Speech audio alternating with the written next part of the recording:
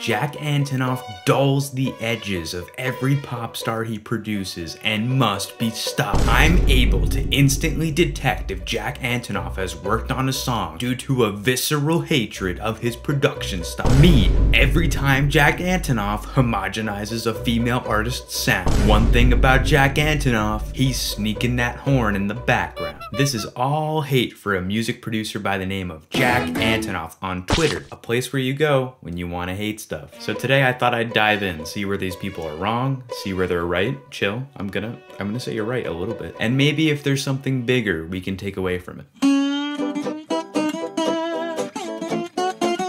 Jack Antonoff has produced these albums recently and people are clowning on him because they say he produces them all in a very similar style. If I had to describe the sound briefly, I would just say it's these close mic, compressed, eclectic sound choices that you either love or hate. Like it either makes you feel claustrophobic in a gross way or you're like, oh wait, this actually works. Now let's unpack the hate.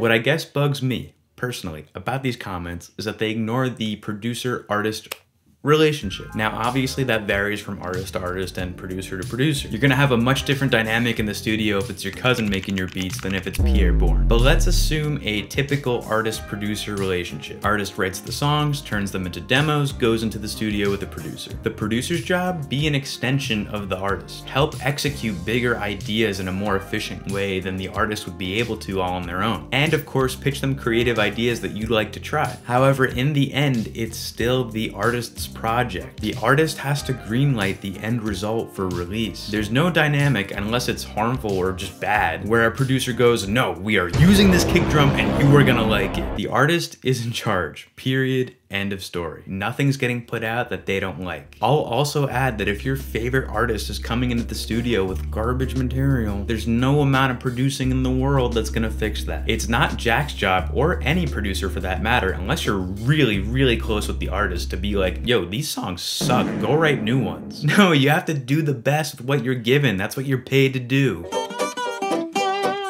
Okay, so now you might be like, and this is only if you're like really trying to hate here, you're like, but Sergio, Jack is evil and he's not actually letting artists flesh out their own ideas, he's just controlling the whole project. Well, and see, that's where we have to bring up a few receipts. Lorde, in a direct response to comments like this about her last album, said, I haven't made a Jack Antonoff record. I've made a Lorde record, and he's helped me make it, and very much deferred to me on production and arrangement. Jack would agree with this. To give him that amount of credit is frankly insulting. Taylor, after her latest release, just referenced Jack as a co-pilot and friend for life. Do you really think if Jack was in the studio being manipulative, overstepping, or at the very least just too forward with his ideas, do you really think that Taylor wouldn't say something about it? She'd be the first person to say something about it, and that's a good thing. Even Matty Healy of the 1975, after their latest record, which they worked on with Jack Antonoff, said, I think that guy has a reputation for being busy, but I can tell you, he's just good. He's so good. What he does is identifies what an artist is really good at or where the truth is coming from. So no, I don't think that Jack is one of the big evil music producers messing everything up. On to the next point.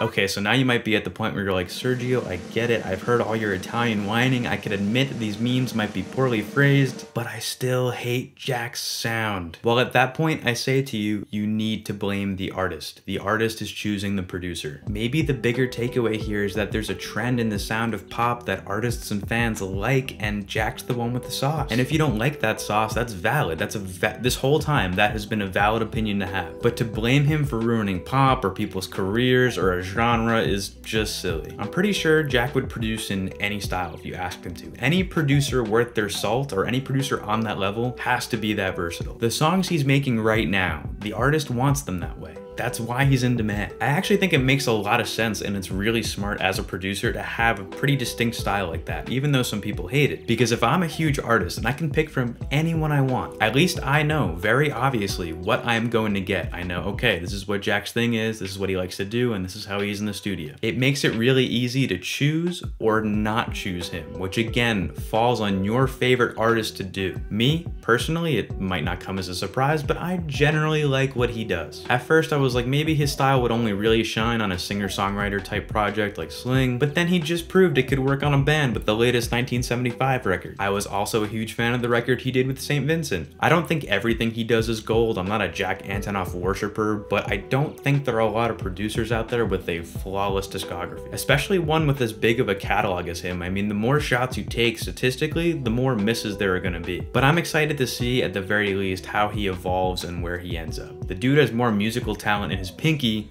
than I do in my entire body, I promise you, I just run a YouTube channel. But uh, if you like this video, check out this video over here where I ask the question, did Mac DeMarco kill Indie? I know, it's kind of similar to this video, but you'll like it if you like this one.